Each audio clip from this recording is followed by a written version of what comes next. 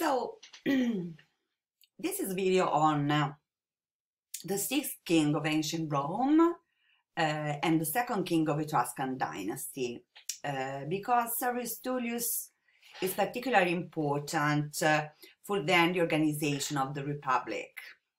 So, again, we are not sure about the exact dates, but for sure we know that he was the second, second of the Etruscan dynasty, so ruling in Rome in the 6th century BCE. So this name, Servius, mm, uh, it's um, uh, a name reco um, recalling uh, the condition of slavery. Mm? So in an account, Servius is described as a slave, then marrying a daughter of the first Etruscan king, uh, Lucius Tarquinius Priscus. But Livy did not believe uh, to the story that he was born a slave, uh, so it was impossible for a slave then to marry a princess. So he said that probably Tullius' mother was a king of an Etruscan city sacked by the Romans, so captured uh, together with his son and then to pay homage to her regal origins, she was allowed to live in the palace. Then there is another legend um, coming from uh, Emperor Claudius that uh, has been one of the first uh, scholars about the Etruscans, one of the first Etruscologists, and um, according to his legend, Servius is represented as a mercenary soldier named in Etruscan Mastarna. And he attached himself uh, to the princes of Vulci, the brothers Vibenna, and especially to Caelius. then, after various adventures, Caelius was beaten but Mastarna came to Rome with remnants of his army, and so he named the Caelian Hill in Rome after his friend. So, this story is about um, the stories about the fact that he was a slave uh, are probably um, ways to explain the name Servius, uh, which looks like an adjective uh, serv servus, slave. But it's very interesting about the legend uh, of Mastarna, what has been found in a tomb in Etruria, in the city of Vulci, so in Etruscan city, in the so-called Francois tomb, completely frescoed. And um, uh, on the frescoes of this tomb, there are figures of soldiers, duels, uh, and uh, there's a figure labeled Mastarna, and others labeled Vibenna, Vibenna brothers. So this is very interesting eh, to find both uh, in literature and uh, in archaeology mm, this connection. So, but mm, it's still a mystery why, uh, if Mastarna was Servius, uh, why he changed his name like this. Then let's see what's reported about Servius. Uh, the fact especially that he undertook important building projects and expanded the city, and then that he probably built the city walls. There are long stretches of the city walls uh, still standing in Rome, and there's a part uh, uh, dated in the 6th century, but then was replaced later uh, in the 4th century with a new wall.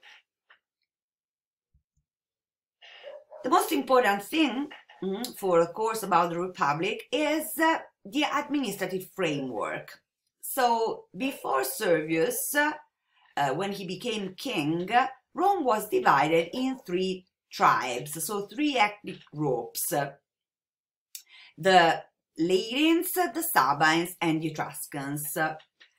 So increased by the arrival of more Etruscans together with their kings, uh, the populace, the people of Rome, had been divided uh, by Servius not only in three ethnic groups, but into uh, four uh, urban tribes on a territorial basis. Then he divided so the city in four and the territory uh, in 10 rural tribes. So each citizen now was attached to his ethnic group, so to his tribe, and to his area, tribal area, because he called these areas tribes too.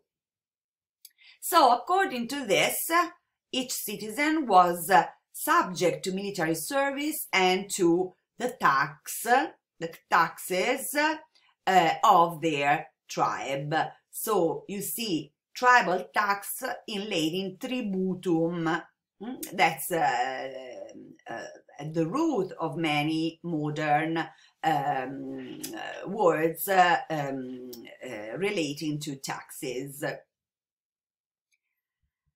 So each of the three originally tribes was divided in 10 curiae and the representatives of these smaller groups were responsible for the civil affairs and then met together as required by the king to discuss but not to decide about matters of uh, national importance. So um, before there was uh, um, um, a system of clans uh, in which then the 10 curia were divided. Uh, sorry, the three tribes were divided in curie. Then curia um, will become a meeting place, especially the meeting place of the Senate, but more importantly, uh, the curia um, was generally the name of a voting group. Mm? So in the assembly of the curie, mm? so we will describe this kind of assembly in uh, the part about uh, the organization of the state in the republic. According to this new system, uh, through which he wanted to uh, integrate all the newcomers, so the increased number of citizens in Rome, he, um, he uh, based his new system not only in the ethnic tribes and um, uh, territorial tribes, but on residence and wealth. So this involved the census. So the first sentiment uh, uh, of history, recorded censiment, uh, had, had, been done by Servius Tullius to register all free adult male Romans and their properties as a censiment today.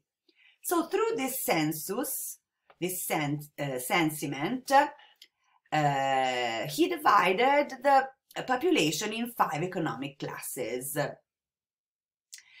So um, through this, he improved uh, the administrative and political organization of Rome. Mm? For example, um, creating a political assembly, mm? uh, the assembly of the centuria that was the expression of the census system. Why of the centurie? because this political assembly was organized in hundreds. Centuria means this, hundreds. And uh, so the comitia centuriata was the assembly of the centurie, of these uh, hundreds. Then, so the origin of the word comitia, mm, so assembly, uh, is uh, coming from Latin, the Latin verb the cum ire, meaning to go together, so to group, to create an assembly. Then, so uh, in a passage of a late author, uh, Gellius specified, so this uh, is the name of the author, he specified the distribution of the population in political subdivisions. So saying that when you vote for the class ethnic group, uh, the comitia are called curiata. Do you remember the three ethnic tribes were divided in curie? When you vote uh, according to the sentiment, the census, uh, and your age, the assembly is called centuriata, according to the hundreds in which um, were divided the five economic classes coming from the census. When you vote according to regions and places, so your territorial area, the assembly was called tributa uh, from the uh, territorial tribes. We will see better uh, in the part on the Republic. Then this sentiment and this new organization in economic classes uh, define also a new military organization.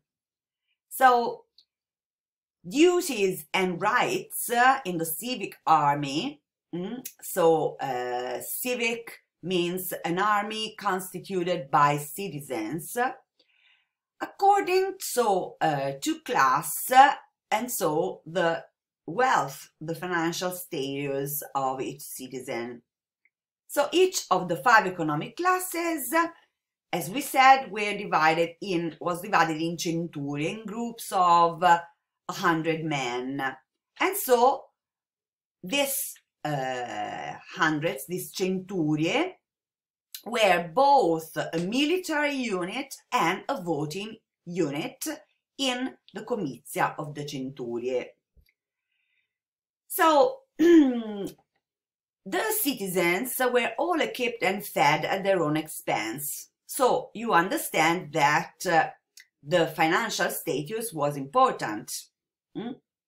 In the military service, that was both a duty and considered a right of each classified citizen according to the census.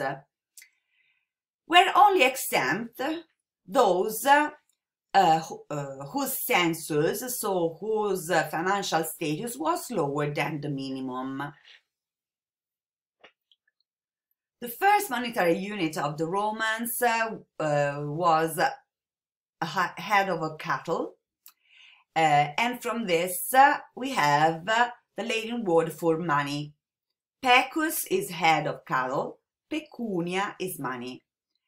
Then the ass was uh, originally a pound weight in uncoined copper and then became uh, a specific coin?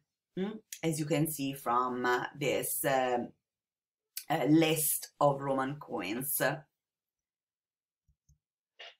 So from the first class okay, that had the preeminent position reflected also in political organization came uh, 18th century of horsemen, 80th century of foot soldiers, all armed at their own expense, and that had offensive and defensive weapons. From the second, third, and fourth classes came 20 century apiece, a, totally, a total of 60 of lightly armed foot soldiers, two century of engineers and two century of musicians. The musicians were important, uh, not only to make enjoyable uh, the time, but uh, for uh, military um, signals. And then from the fifth class, so uh, the uh, lowest level, came 30 centuria of men armed with slings. And then there was the one non-combat centuria, so those with no property but registered uh, for their um, person. So totally the centuria were 193. And these were also voting groups. So let's see the origin of uh, the Roman legion. Mm? At this time, commanders of the army raised their armies by summoning citizens to gatherings where they chose their soldiers from those eligible to serve. So the force raised in this way was called a legion, hmm, which signified that it stemmed from a selection process. In fact, the verb legere means to collect, to pick.